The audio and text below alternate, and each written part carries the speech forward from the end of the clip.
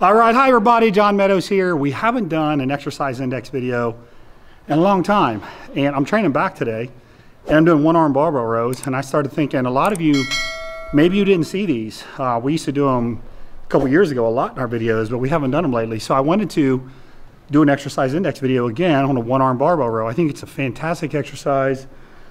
If you're, if you're looking for something to get your lat from the top all the way down to the bottom, this is a great exercise for you. So what we do is we put a bar in a landmine. You could stick it in the, the corner of a gym too if you wanted, but I like it in landmine personally. In terms of weight, we like to use smaller uh, plates. This will give you more range of motion, so you can pull up a little higher instead of having a plate hit you. You could even use 10s if you want, make it even smaller. Uh, when you grip the barbell, you're going to want to grip it back here on the small side, not really up here. I mean, you could do that technically, put some straps on and pull back, and it'd be a little bit more lower lat.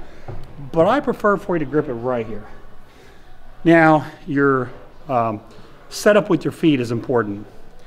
So I'll show you how I like to do them. I like to stagger my stance like this and do them.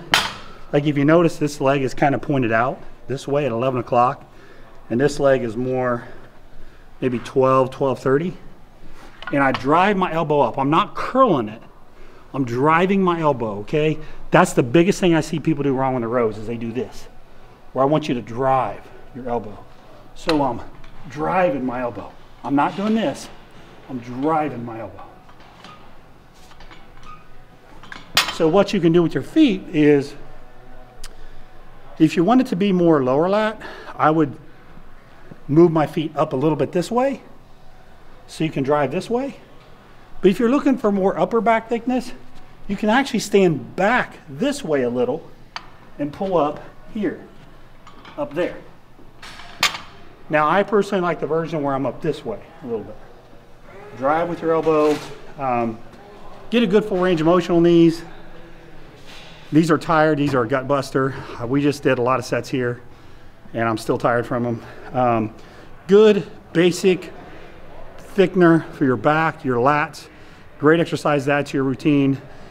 Three hard sets of eight to 10 is all you need. You could do these probably once every four or five days. But um, one arm barbell rows. So that's it for today. Short video. Appreciate you watching, and we'll see you next time.